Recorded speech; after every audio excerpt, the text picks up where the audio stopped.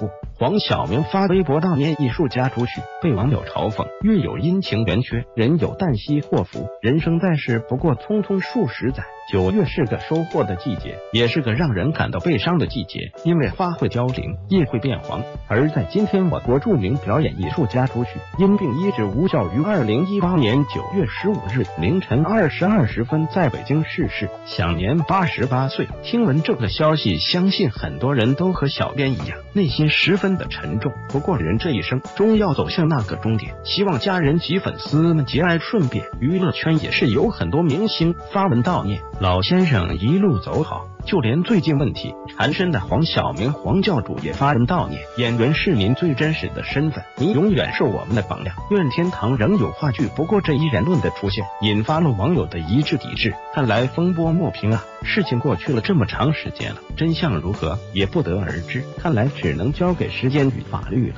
黄晓明工作室也是发出了声明，不过看来网友们似乎并不买账，事情 真相不得而知。对于黄晓明这个男艺人，有很多网友都说他演技不好，但小编还是很喜欢黄教主演的《新上海滩》这部电视剧和《中国合伙人》电影的，感觉演技杠杆在线。虽然有些影视作品收视率不怎么好，但是谁又能保证自己演一部剧火一部剧呢？不知道大家以后还会不会接受黄教主呢？你们喜欢他吗？